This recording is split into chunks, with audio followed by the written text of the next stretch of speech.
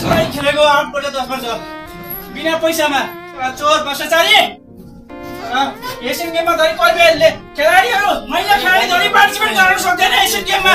फुक्का म बरु जग्गा बेचेर पठाइदिन्छु महिला क्रिकेट टिमलाई। तर मलेसिया क्रिकेट टिम खेलिरहेको छ इन्डियासँग। तर भ्रष्टाचारी चोर! चोर चोर! यो देशमा केही हुँदैन। चोरै चोरले भरेको ठाउँ हो यो। र त्यो चोर तेरो पनि दिन आउँछ एक दिन। वैधानिक रूपमा दिनुपर्छ नि।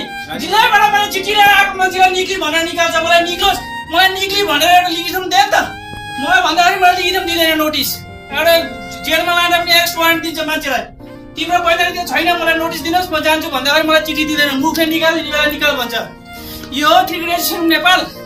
मैले देशबाट आठ वर्ष खेलेको छु। बिना पैसा अहिलेसम्म म कोचिङ गरिरहेको छु लेभल टू गरेको छु। अस्तिसम्म Asian under sixteen Asia game जितेर आएको म। त्यस्तो दिएको मान्छेलाई जिल्लाबाट आउँदाखेरि मलाई निकाल्छ। वैधानिक त छैन भन्छ। मैले माइनुट लगाएर देखाउँदा पनि तेरो भएन भन्छ। निर्णय चेन्ज गर्न पाइँदैन जिल्लाले। निर्णय त जति बेला पनि चेन्ज गर्छ नि त।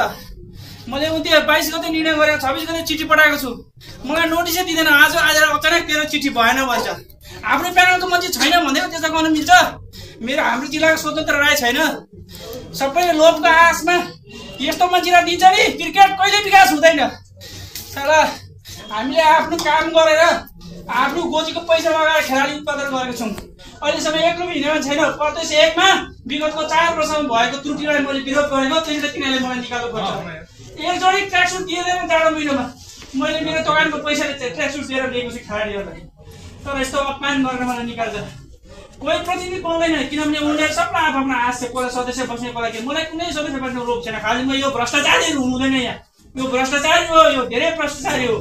एसियन गेमबाट जति आएको पैसा छ एसियाको क्वालिफाइङबाट पैसा एक रुपियाँ यिनीहरू खर्च गर्दैन यिनीहरू ब्ल्याक लेबर रेड लेबर खाएर पऱ्यो होटलमा बस्छ कि? खेलाडीलाई एकचोटि जुत्ता दिँदैन। अन्डर सिक्सटिन लाँदाखेरि मेरो अहिलेसम्म ट्रान्जेक्सन चाहिँ सत्तरी हजार मैले दिएर केलमीको जुत्ता मैले खेलाडीहरू अन्डर सिक्सटिन खेलाडीहरू दिएँ। जे पाइ त्यो लगाएर जानु हुँदैन हाम्रो देशको इज्जत छ भनेर। पछि आइसकेपछि त्यो त्यो पैसा पास भयो। कर्मचारीलाई थाहा छ यो कुरो मेरो ट्रान्जेक्सन छ केलमी सुरुमा हेर्दा हुन्छ। त्यस्तो मान्छे हो म। तर मलाई आज अपमान गरेर निकालेको छ। यो चतुर्बाजु चन्द भ्रष्टाचारीले क्रिकेट विकास होइन उसले जिल्ला विकास गर्छ। हामीले चाहिने पाँच विकास क्षेत्र थियो पहिला। खेल्ने खेलाडी होस् नहोस् जिल्ला थपेको थपे गर्छ। क्वान्टिटी थपेर हुन्छ क्वालिटी थप्नुपर्छ देश विकास गर्ने हो भने। थाइल्यान्डले बिसजनाको क्याम्पिङ राखेर महिला टिम वर्ल्ड कप क्वालिफाई गर्छ। तर हामी सातवटा प्रदेश भएर महिला टिम वर्ल्ड कप गराउन सक्दैनौँ। महिला टिमको वर्ल्ड कप जस्तो इम्पोर्टेन्ट गेम आइसक्यो क्याम्पिङ राख्दैन। चुनावको पचास पर्सेन्ट व्यस्त हुन्छ। समिति कोही छैन छब्बिस गते चिठी पठाएको छु हेर्ने मान्छे कोही छैन कार्य समितिको अनि अहिले आएर निकाल्छ।